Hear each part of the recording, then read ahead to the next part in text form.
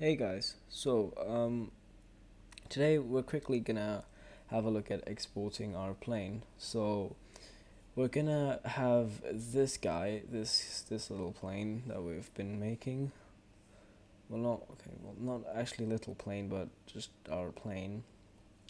And we're gonna be sending him to uh, to to Roblox from here.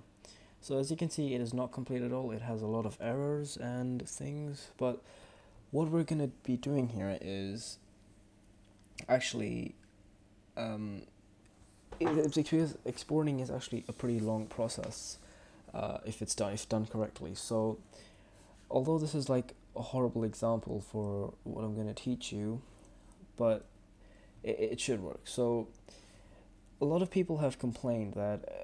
Once they like enter their plane or export it and they go into the plane, they can't see in what's happening. Like it's just this, and it just drives them nuts. Now, uh, you can have just see you've just seen that when I'm in sh- uh, sh- this this color white cube uh, or viewport shading, and I click this drop down menu, which is the shading drop down menu, and I click back face culling.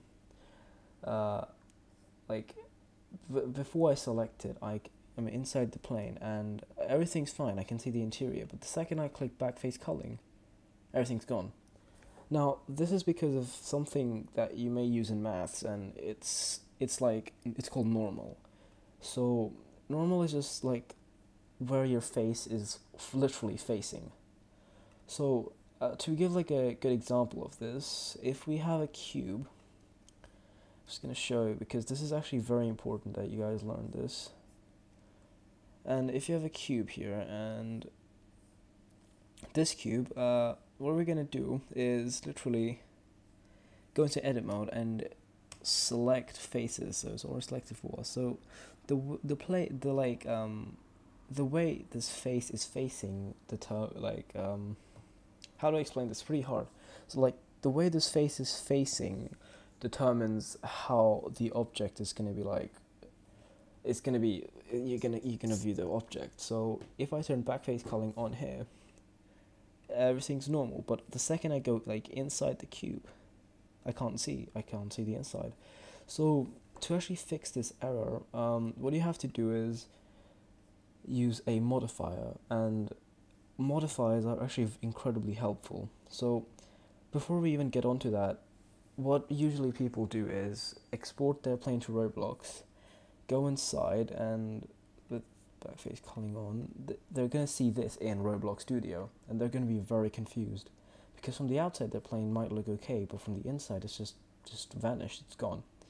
So this is what I actually used to do, and now that I figured backface culling, which it actually just allows you to see what you might see in Roblox Studio, just you can use this in Blender and fix these errors. So how do you how exactly do you fix this?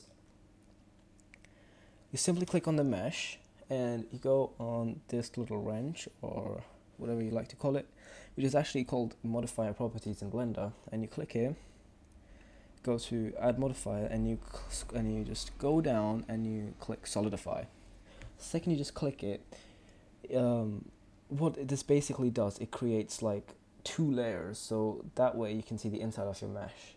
And here you might see these really weird things. So before you even do anything, you want to quickly deselect this. So fill rim can actually just kind of messes this up. I'm never sure why this does it, but it it it is what it is. So yeah, you can actually just play around with the settings, but I wouldn't. I just turn fill rim off.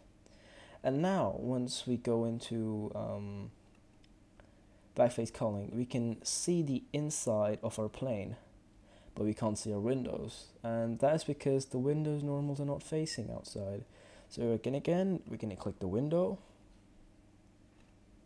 solidify, fill rim off, and boom. Well, make sure you actually apply your modifier. Don't just leave it like that. So apply. And now we're inside and we can see windows this window? Why can I not see this one? Oh because I haven't used solidify on this. Solidify. Fill rim off. And yay I can see my mesh. Now, this could actually affect quite a bit. Now, uh, I mean, not affect, but this can help you clear out a lot of errors. And another way to like do this is, and like for instance, if I have my engine in edit mode and I select all of this, I go here with this is two circles and like overlays, and I click on um, face orientation. Blue means where your face is your like thing is facing out outside but red is just think of it blue being good and red being bad. That's the best way i can explain this so like you can see there's red inside of the engine but blue outside so i would have like issues with this but if i solidify the engine like this uh, boom, I fix it. But a few things to keep in mind. You should not use solidify all the time. Uh, if you need to flip your normals, for instance, if this is like uh, this is blue and you want to make a red, you would quickly go here and then mesh, normals, and flip. So now you can see you have flipped it, so it's red. So in Roblox Studio, it's gonna look like it's gonna look very weird. Let's just say that because you would not be able to see the inside of your mesh. So this is just part one to get an idea of. I know it's very confusing because I had I struggled a lot with this, but yeah, this is just part one. Part two is gonna be coming soon. But yeah, just make sure back back face culling helps you to see how you're gonna view your uh, mesh in any game engine or basically where your normals are facing. And yeah, that's that's pretty much it. And make sure to contact me on my Discord. I'll put that in the link. And yeah, thanks for watching.